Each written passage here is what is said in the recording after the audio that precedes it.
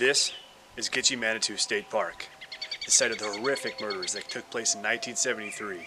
On the night of November 17th, 1973, five teenagers went out to enjoy the cold November air next to a warm campfire. They traveled to Gitchie Manitou State Preserve.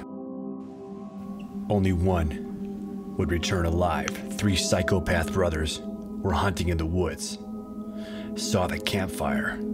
They pretended to be narcotics officers, one by one, mowing them down. Sandra Cheskey, the Gitchie girl, was the only survivor. She was eventually able to identify the Fryer brothers.